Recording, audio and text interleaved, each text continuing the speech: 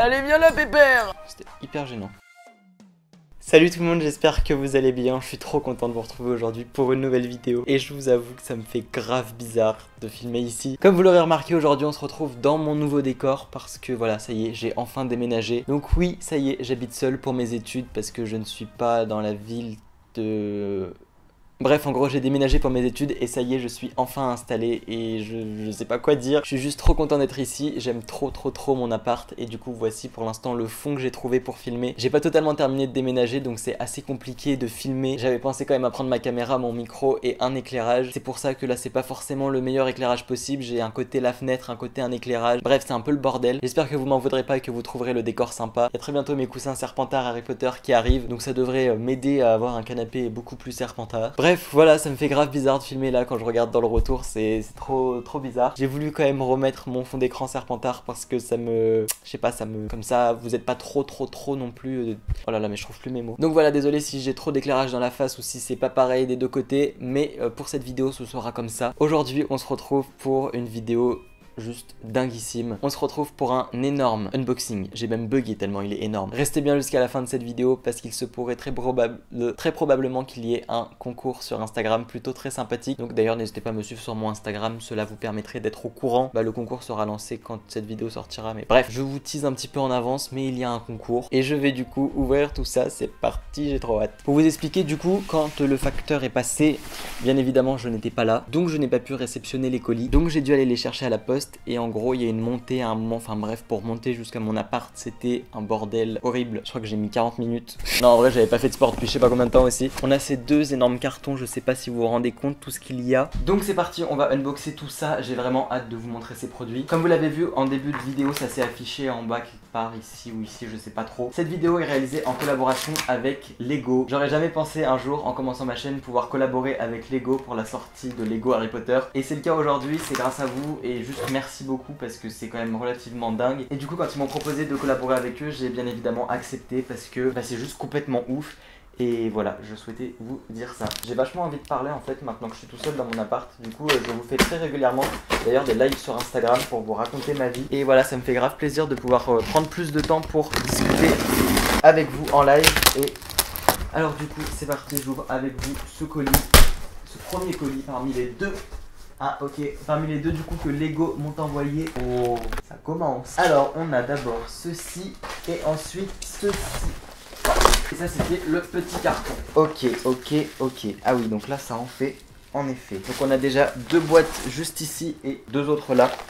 Je vais poser ça là et je vais ouvrir celui-ci également tant qu'on y est. Je suis désolé, j'avais oublié de reprendre mon micro, du coup le son était super loin. Je suis désolé, c'est un peu la vidéo de la galère, mais vu que je viens d'arriver dans mon appartement, c'est hyper compliqué de gérer au niveau de la lumière, au niveau du son, du trépied. Là, vous êtes actuellement posé sur une table, une seconde table et des papiers. Parce que sinon, j'arrivais pas à la bonne taille et j'ai pas encore amené mon trépied, mais ce sera réglé pour les prochaines vidéos. Tout ira beaucoup mieux. Donc c'était juste cette vidéo, c'était un petit peu délicat. Alors attendez, parce que comment je vais ouvrir ce truc? Ça, c'est complètement ouf.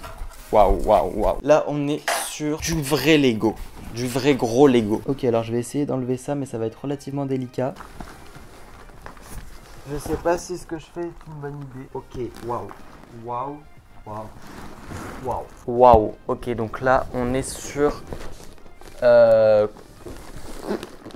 Je sais pas si on se rendra compte de la taille du truc, mais c'est quand même assez ouf et je pense qu'on n'entend pas grand chose. Je suis vraiment vraiment encore désolé pour cette qualité trop bizarre. Je continue d'unboxer sans qu'on me voit trop. Ok. Ok. Vous sentez que ça va tout se casser la gueule. Ok, alors attendez. On va essayer de... Ok.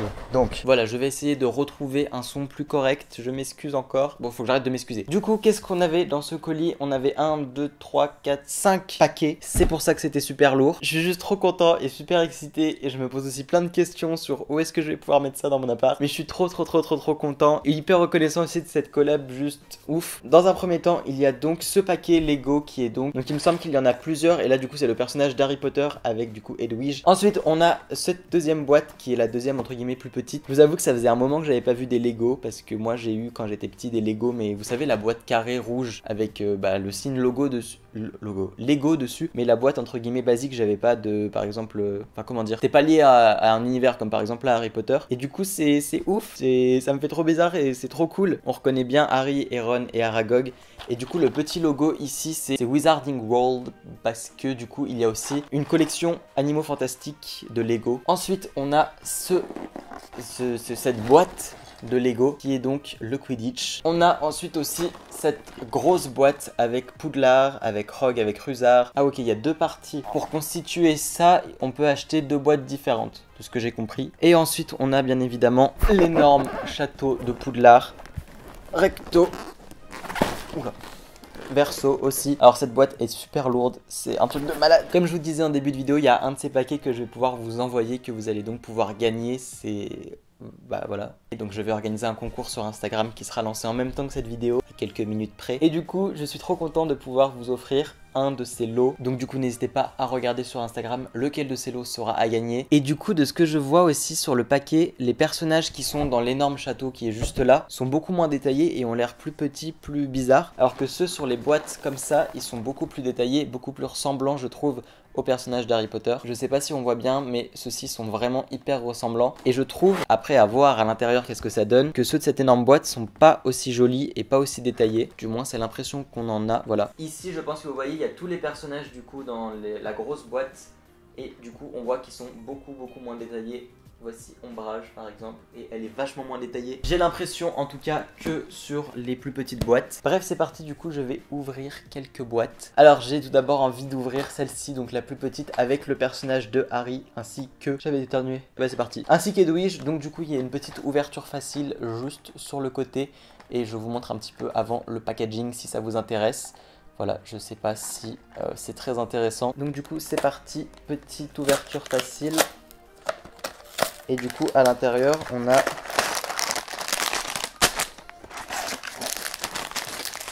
le petit guide et je pense qu'il y a les explications pour construire, tout à fait. Ah oui, il y a quand même 58 euh, pages pour construire ça. Donc je vous laisse imaginer pour construire le château de Poudlard, ça va être quelque chose. Donc du coup, voilà, on a euh, à chaque fois euh, des petits paquets comme ça avec toutes les pièces pour la construction du, de la boîte en question.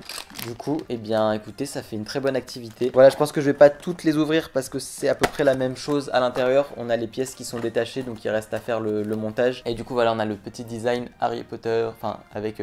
Daniel Radcliffe juste là. Et je trouve ça trop cool que Lego se soit associé à Harry Potter, enfin qu'il y ait une collaboration entre les deux, parce que bah, bah c'est trop trop trop trop bien, je trouve, d'avoir des Lego Harry Potter. Je vais te mettre ici ma petite boîte. Du coup, j'ai prévu de vous faire une vidéo entièrement dédiée à la construction de Lego, parce que je me suis dit que ce serait plus simple que faire unboxing, construction en même temps. Là, du coup, on découvre ensemble les boîtes qu'il y a. Et ensuite, du coup, dans une autre vidéo, je ferai la construction, par exemple, de cette boîte-ci, ou de l'énorme boîte château. Ça peut être rigolo, je pense, de me voir euh, ouvrir cette boîte. N'hésitez pas à me dire en commentaire ce que vous aimeriez, mais je pense que je vais faire une vidéo entièrement en accéléré où vous allez me voir en train de construire justement l'énorme château que je vous représente euh, un petit peu plus tard. N'hésitez pas à rester connecté. Mais du coup, voilà, je me dis que ça peut être sympa de faire une vidéo dans laquelle je monte en direct cette énorme euh, boîte de Lego. Et je pense qu'il va y en avoir pour 12, 15 ou 20 heures à construire, donc c'est assez ouf. Mais je pense que ça peut être très sympathique si j'arrive à suivre les consignes et ça doit prendre une place de malade aussi d'ailleurs. Faudra que je pense à trouver une place. Bref, du coup, ensuite, la seconde boîte, c'est celle-ci. C'est celle donc de Harry Potter avec Ron, avec Aragog aussi. Est-ce qu'on a plus de détails derrière? Oui, derrière, on a plusieurs explications. On a donc plusieurs araignées, on a aussi des arbres en mode forêt interdite, on a aussi du coup Harry et Ron comme je le dis il y a 20 secondes. Harry avec sa petite torche, avec leur baguette chacun, une lampe et tout, enfin ils sont vraiment bien bien bien détaillés et même on voit que sur les habits et tout ils ont vachement fait un effort. Aragog est juste canon et ça me rappelle de ouf les studios Harry Potter parce que du coup quand vous êtes, enfin je vais vous spoiler un peu, quand vous êtes dans la forêt interdite et qu'il y a Aragog qui sort, genre ça me rappelle plein plein plein de trucs et c'est grave chouette. À chaque fois on retrouve les acteurs des films, donc des images qui sont prises des films. Je vais vous montrer un petit peu plus en détail. Voici du coup l'image qu'il y a devant. Et, je sais pas, c'est trop chouette de, se dire qu'il y, a Aragog à, à construire, qu'il y a les personnages d'Harry Potter et tout. Je trouve ça trop trop trop trop chouette. Et elles ont des petites noms ces boîtes. Celle-ci c'est la 75 950 par exemple. Voilà. Si ça a intéressé certains. Je vais quand même ouvrir cette boîte-ci pour pouvoir voir à quoi ressemblent les personnages à l'intérieur. Donc forcément si j'ouvre cette boîte-ci c'est que je ne vais pas la faire gagner dans le concours parce que voilà, je vais pas ouvrir une boîte qui va être euh, à gagner. Donc du coup, à l'intérieur, on a toujours la petite la petite notice d'explication. Il faut que je trouve les personnages qui sont là-dedans. Donc voilà, une boîte de Lego, je pense que vous en avez tous vu. Et du coup, je vais essayer de retrouver les morceaux des persos pour essayer de les faire. Alors là, j'ai une paire de jambes. J'ai une petite tête avec des lunettes et une cicatrice c'est une autre histoire. Donc ça y est, je peux construire les personnages. Donc voilà, c'est euh, bah, des Lego. Hein. Forcément, il y a tout qui est en petites pièces détachées. Je pense qu'on voit strictement rien avec mes vieux doigts au milieu. Alors du coup, ça c'est le buste de Harry et il a les pieds en gris. Ah, ça me fait trop rire de refaire des Lego. Et on a sa tête, je sais plus où je l'ai mis. Donc voilà, là on a Harry qui est sans cheveux mais en tenue et c'est déjà pas mal donc je vais tout de suite lui chercher ses cheveux dans cette boîte ci il y a les cheveux. Et dans celle-ci il y a les accessoires. Cette boîte elle a l'air vraiment simple à réaliser. Il n'y a pas énormément de petites pièces donc euh, je pense que ça va vite. Et du coup les Lego si vous voulez les retrouver les voir que ce soit ceux d'Harry Potter ou ceux des animaux fantastiques vous pouvez bien évidemment les retrouver super facilement dans tous les magasins de jouets mais aussi dans les grandes surfaces. Lego a une très grande euh, distribution en fait. Donc il euh, n'y a aucun problème vous trouvez très facilement même sur internet les Lego. Donc voilà. En plus ça fait des idées de cadeaux de Noël si jamais ça vous intéresse. Ah les pieds ne bougent pas à mon époque, ils bougeaient les pieds. Et du coup, j'en profite pour construire aussi Ron. Alors, je vais pas trouver par contre leur baguette, leur torche et tout ça. Et donc, du coup, voici Harry une fois terminé. À quoi il ressemble Je le trouve cute. Ça me fait, rire de montrer des Lego. Et on a aussi, du coup, le petit Ron Ron Weasley. Aussi hyper bien fait vachement détaillé. Ah, ça fait trop bizarre, ça fait trop rire. Et honnêtement, les Lego, je trouve ça vraiment cool dans une collection. Je sais que moi j'adorais construire des, des Lego, par exemple, faire des maisons ou des choses comme ça en Lego, mais sans forcément y jouer pendant des heures après. Ce que j'aimais surtout, c'était vraiment faire bah, la construction. Et là, en l'occurrence, pour euh, ces, euh, ces, Lego Harry Potter, je sais que je vais les construire, passer du temps à les construire, mais pas jouer dedans, mais les garder en tant que collection en fait. Donc c'est vraiment l'idée que j'ai pour moi des Lego. Après, peut-être que bah, ça doit être différent pour d'autres, mais en tout cas, pour moi, c'est vraiment un gros fait un gros plaisir de les construire et ensuite une fois qu'ils sont construits je vais pas forcément y jouer avec mais je vais euh, l'aménager en fait pour euh, l'exposer voilà, je sais pas si c'est très clair. Par exemple, le gros château de Poudlard, oula, que je vais construire également, je vais, une fois qu'il est fini, une fois qu'il est monté, je vais l'installer de manière euh, jolie. Enfin, je vais le, mettre en, en, mode présentoir, entre guillemets. Enfin, je vais essayer de lui trouver une place, quoi. Mais je vais pas jouer avec en fait. Je vais pas par exemple prendre Ron et euh, jouer avec, euh, enfin je sais pas comment expliquer ça. C'est vraiment un objet de collection et en plus les Lego ça coûte aussi un certain prix et du coup je trouve ça trop trop cool de pouvoir les exposer vraiment et de et d'en faire des vraies scènes. Et quand on voit à quel point il y a de détails par exemple sur l'énorme château de Poudlard que je vais vous montrer juste après il y a carrément possibilité de faire des choses euh, des choses trop trop cool et de, et de l'aménager euh, bah, vraiment d'une manière collection. Voilà je sais pas vraiment si on aura compris ce que je veux dire hein, parce que j'ai fait toute la semaine 8h 18h du coup je suis claqué mais c'est pas grave. Du coup je vais remettre les petites pièces à l'intérieur en espérant que ça se parte pas tout. Cette boîte-ci a l'air très intéressante et c'est une très bonne idée d'avoir fait ce, cette scène, on va dire. Toutes les petites araignées, tous les petits, euh, les petits gadgets qui vont avec, sûrement les baguettes et tout ça qui sont là-dedans. Hop là, enfin, on fait des boîtes de Lego. Ensuite, du coup, on a celle-ci du Quidditch. Waouh, il y a Rogue, oh là là, des Serpentards, des Gryffondors, c'est trop trop trop trop beau. Cette boîte, elle est juste trop belle et c'est tellement une bonne idée d'avoir fait le Quidditch. En plus, autant moi je suis pas, enfin comment dire, pendant un long moment, j'ai pas été fan du sport Quidditch et j'avoue que même encore maintenant, c'est pas euh, la partie que j'aime le plus dans Harry Potter et comme je l'avais déjà dit dans une vidéo, j'ai parfois tendance à trouver ça long les passages de Quidditch, même si en, soi c'est pas long du tout. Parce que aussi peut-être que je suis pas fan de sport et du coup voilà ça me ça me